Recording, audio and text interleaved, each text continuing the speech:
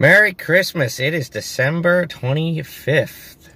Can't believe how fast 2020 went by, given how shitty this year has been for so many different reasons. Um, but yeah, so the last time you guys saw me in a vlog was October when I was down in Georgia for the Tracy Byrd concert. And um, I've been on three trips since then. I just didn't vlog any of them because I was traveling with friends and family and I just didn't get around to it. So I've been slacking, but I did want to vlog this one. Um, I'm in Orlando, downtown Orlando, one of my old favorite stomping grounds when I travel. Flew nonstop this morning on Southwest from Manchester, New Hampshire, MHT to Orlando MCO. And I normally do Boston Logan because the prices are better, even though I live in New Hampshire and Manchester's like practically in my backyard. Um, reason for that was I didn't want to have to ask somebody to give me a ride all the way an hour to Boston Logan on Christmas Day. I figured it'd be easier if I say, hey, can I get a ride 10 minutes up the street to the Manchester airport? And that's exactly what happened. And another reason, um, I'll tell you about tomorrow. There's another reason that'll make sense when I show you what I'm doing tomorrow, why I flew out of Manchester and not Boston. Um, but anyhow, I'm going to keep this short and sweet. Um, it's about 3.30 in the afternoon. Flew, flew in midday, so I did see my family a little bit very briefly this morning before I had to head out to the airport. Um, yeah, I'm going to see my friend who lives down here later on. I'm going to stay at uh, her place tonight. And then, uh, it's open-ended. I'll tell you what we're doing tomorrow, tomorrow. But anyway, just wanted to say, hey, Merry Christmas. And I will vlog my adventures today. Because what I'm trying to do is get something to eat. Nothing I want is open. Steak and Shake's closed. Pollo Tropical's closed. Which is how it ought to be. No matter what kind of work you do, you should get Christmas Day off. So I'm running around trying to get some something to eat. And then I'm going to make my way over to Winter Haven. My friend is hanging out with her family this afternoon. And then, um, I don't know what we're going to do later. But um, on my own for a few hours here. Rented the car at Dollar Thrifty. 50 minute wait to pick up a car, which is the longest I've ever waited at MCO. But what can you do? It's Christmas Day. It was crowded. Ford Fiesta, 39,000 miles on it. This is my favorite economy rental car. The pickup trucks were too expensive. So I will check in with whatever I get to eat. All right, driving along. Just had a nice ride from downtown Orlando over to Claremont, Florida. I think I'm in Clermont, in or near Claremont. And I'm going to Sugarloaf Mountain, which is the fifth highest point in Florida and the highest point on the Florida Peninsula. One through four are all up on the panhandle. And I have been to the highest point in Florida. Go back about a year. Uh, there's a vlog from that. Uh, but right now, this is the highest point on the Florida Peninsula. 312 feet, I think it was. Sugarloaf Mountain near Clermont, Florida. And I'm just blown away. I could have got here fairly quickly from downtown Orlando on the toll road, but I didn't want to pay the toll and I have some time on my hands. So I took all surface streets and back roads, and I've never driven through a part of Florida that's so hilly. This is the hilliest part of Florida. I'm just, it doesn't even feel like I'm in Florida. I mean, it's nothing like too crazy, but I mean, here, let me turn the camera around.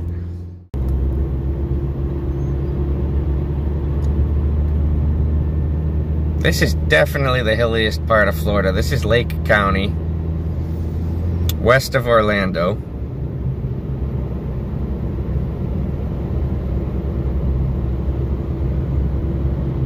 See what I mean? This is just not... I mean, it is Florida, obviously, but it don't feel like it. I've been meaning to come over this way and check out this area and this hill for a while. I just never had time on any of my trips which I really have no excuse. I'm in Florida almost once a month at this point.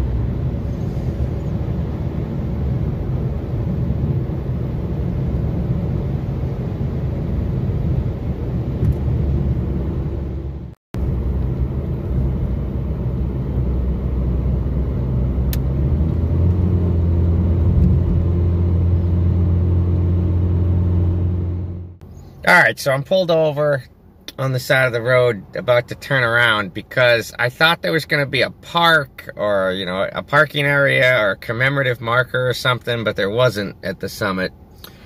And it's just like a little like area where you can kind of pull over and I, I think I'm just going to jump out there and take a couple pictures, but I'm going to swing around and head back over to it. There actually was a pretty dang good view from what I saw from the car. So I'm going to swing back up there and catch you in a minute. All right, so I'm driving back down again. Pulled over long enough to take a couple of pictures. It's not much of a place to pull over. It was like right in front of somebody's house, but there was a pretty good view, so I took a few pictures. I, I just there was like a dog barking in somebody's yard as I was pulling up, so it wasn't really a chance to stick around long enough to vlog. But I will throw those pictures in right now.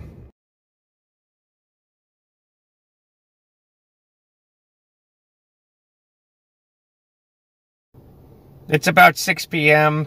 I'm in Davenport, Florida, where Interstate 4 meets Route 27. Just a lot of driving around exploring today. Uh, I'm still looking for something to eat. I'm very hungry. A lot, so many things that I would normally eat when I'm in Florida are closed. So I haven't figured that out yet. I'm staying at my friend's place in Winter Haven tonight. My friend is not home yet. Uh, she's at Christmas with her family which I actually got invited to uh, go over there and hang out. The, the, way it was described to me was just a bunch of rednecks hanging out in Kathleen, Florida, in Polk County.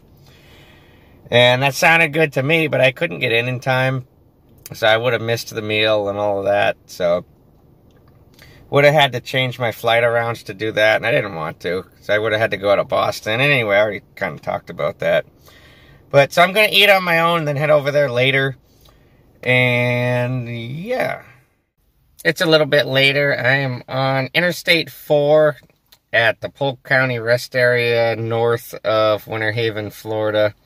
I just got a Giordano's deep dish Chicago style pizza. I was having trouble finding stuff that was open, and then I thought, go over toward Disney and all the touristy stuff, and things will be open, and it and it was. And there's a couple of Giordano's in Florida, even though it's kind of a Chicago thing. But that sounded good, so I got a deep dish pepperoni pizza. I got, um, here, let me turn it over. Felt like cold soda, so I got a couple of fountain drinks at Circle K. Yes, they're both for me. And pizza. Sitting here in the car, I just finished eating, and I don't know if I've mentioned this yet or not in this vlog. It is absolutely freezing in Florida today. Right now, at 8:13 p.m. in Florida, it is 47 degrees. The highest it got today since I've been um, in Florida was 56. It hovered in the 50s, like mid to low 50s during the day. Now it's dipped into the 40s and it's only just after 8 o'clock in the evening. This is, they're saying, the coldest Christmas this is the coldest Christmas in Florida since 1996, I read somewhere. Last year, I was down in Fort Myers on Christmas kayaking. Go back and find that vlog if you want. It's there. And it was in the low 80s. It was like 82, something like that last Christmas. And I know that's a couple hours south of here, but the whole state is cold right now. Fort Myers is cold. Orlando, Miami, Tampa, everywhere is cold. Go figure. But you know what? I come to Florida so much. I'll come down. I was telling somebody the other day, I'll come down again in a couple weeks when it's back in the 80s. Last weekend at the, um, not Puddle of Mudd, last weekend at the Steel Panther Black Stone Cherry concert in Fort Myers. I didn't vlog that, but I was at a concert in Fort Myers last weekend. And waiting in line to go into the venue, it was 76. But I'm rambling at this point, but it is it is cold. I'm wearing a hoodie. I got three layers on, and I could honestly use a fourth. This is as cold as it gets in Florida. Alright, it's been a couple days since I talked to you guys in the vlog. Uh, I think the last thing you saw, I was laying down to get some sleep um, at my friend's place in Winter Haven. It's a couple days later. It is Sunday, December 27th. I'm on my way back to Orlando MCO to fly home. So let me just give you a recap of yesterday because I didn't vlog, but I do have some clips of everything I did. Generally, when I'm with a friend or family members or whoever, I tend not to vlog or not to vlog very much, and that was the case yesterday. So the day started, we went to the gun range in Tampa. It was called Shoot Straight. Really nice place. Nobody was wearing a mask. Um, just good old everything open and normal, which is nice. And that is why I, one of the reasons that I flew directly from Manchester to Orlando, even though it was a little bit more expensive, is because I could bring one of my own firearms with me in checked luggage, properly stored, and all that basically how it works. If you're licensed to carry in both states, generally you can bring one in, or more. No, I don't think it has to be just one. You can bring firearms in checked luggage. That's what I did because I knew we were going to the gun range, so I wanted to bring one of my own. And so that was yesterday morning. I have a little bit of footage from that. I'll put it in right here.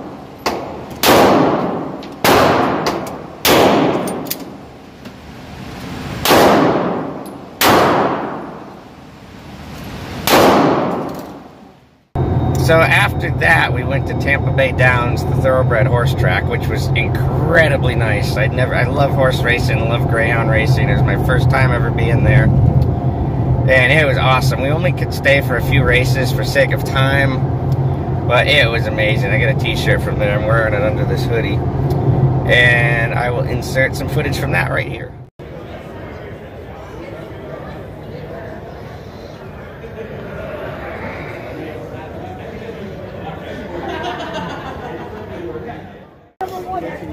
Yes, go, baby, go! Stay, baby, stay! 75 to 1. Show all that brown 70, baby. 81 to 1 on the floor. Oh, God, please, come on. I got a lot, of, a lot of money. I know. We got a lot of money. Come on, baby, go! Yes! Go! Keep it up! Go!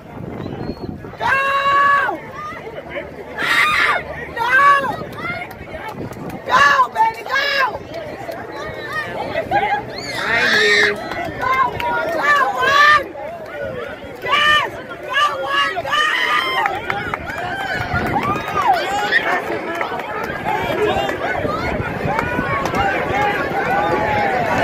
Yeah, yeah, Caribbean King, go, go, go, girl, go, go, run, kitty, run, kitty, run, run. Ah, I got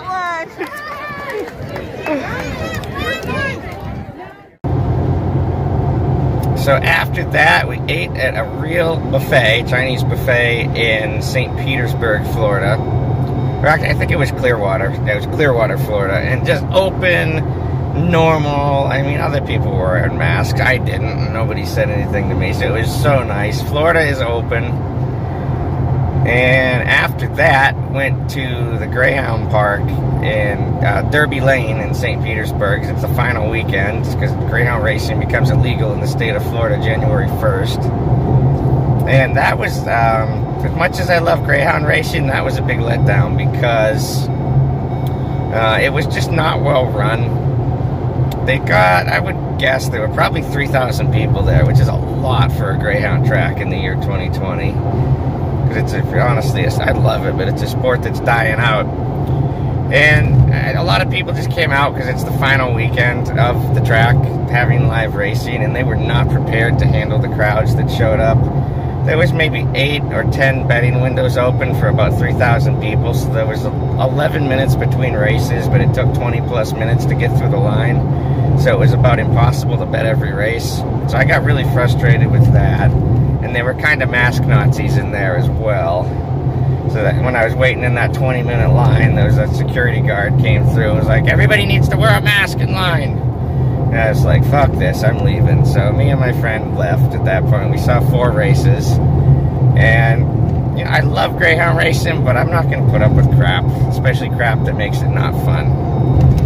Um, anyway, there's there's other states that still have Greyhound racing. I'll be back in Iowa one of these days. There's a track in West Virginia, and there's, there's one or two more scattered throughout the country. But anyhow, that's neither here nor there at this point. After that, um, we went to. Um, I'll put the video in from Derby Lane. I do have a little bit, so I'll put that right here.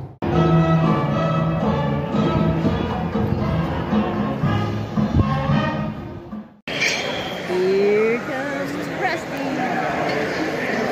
What? You have Greyhound? Run,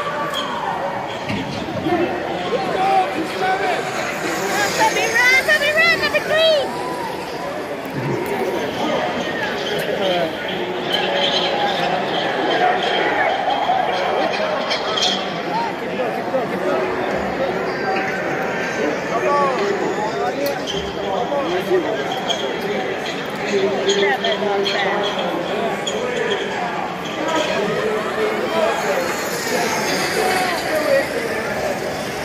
Oh man.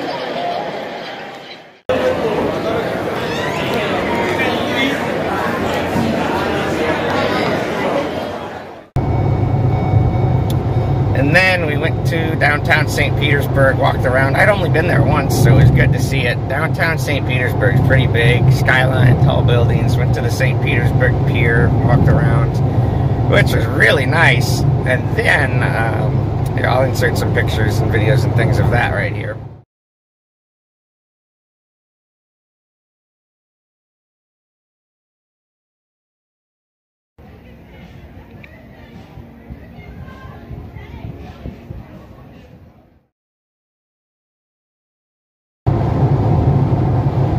Then after that, uh, my friend was like, "Let's go see Jannus Live, just uh, so you can see the place." Because when I went to that Con- Steel Panther Black Stone Cherry concert in Fort Myers last weekend, um, my friend had gone to the one the night before in St. Petersburg at a venue called Jannus Live, which is like an outdoor stage set up in a courtyard. It's really cool. And we just walked by it just so I could see where it was because I'd never been there. And there was a free concert going on. Uh, so we went in and saw that for about a half hour. It was good to see live music in 2020, let me tell you. I've seen it a few times just because I travel and seek it out.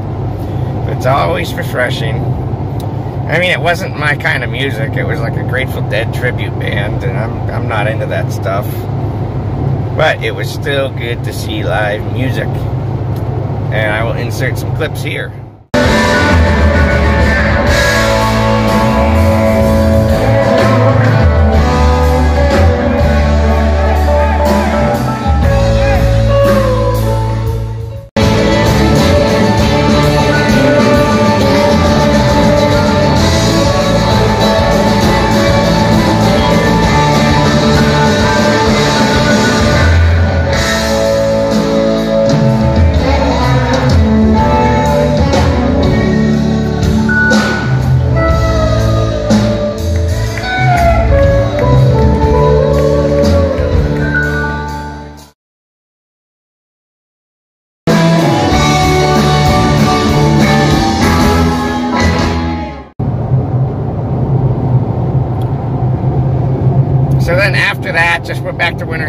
Um, I got some sleep on the on an air mattress on the floor, and then I got up this morning. I've headed back to the airport, Orlando MCO. It's about 50 minutes from Winter Haven, 50 minutes to an hour from Winter Haven. Um, so yeah, I'm flying nonstop on Southwest Orlando MCO to Manchester, New Hampshire MHT, which is a little bit pricey, but like I said, I have a firearm with me, and I can't use Boston Logan because Massachusetts has some really, really shitty gun laws. I'm licensed in New Hampshire, I'm licensed in Florida, I'm not licensed in Massachusetts. And I'm not going to make this a firearms rant, but anyway, so that's why I'm flying to Manchester, which is like 10 minutes from where I live. So that's that's it, it's a nice little luxury when I come and go from Manchester. So yeah, I mean, I'll end this vlog here unless something interesting happens between here and the airport. I'm coming into Kissimmee right now, so I'm almost there. Uh, returning this car at dollar. That's about it. Good little trip. It was very cold in Florida. It's 56 right now. It's as warm as it's been the entire trip. It was down into the mid 30s last night driving back to Winter Haven from the Tampa area. Cold as can be. But yeah, I mean, it's always good to be in Florida despite that. Alright, so I will do a better vlog next trip. I promise I will. And this has been. I've had three trips since that October vlog in Georgia that I didn't vlog for one reason or another. So I definitely wanted to put this video up, even though it's not that great. But anyway, I'll be back in the next one with a better vlog. So thank thank you guys for watching and I'll see you in the next one.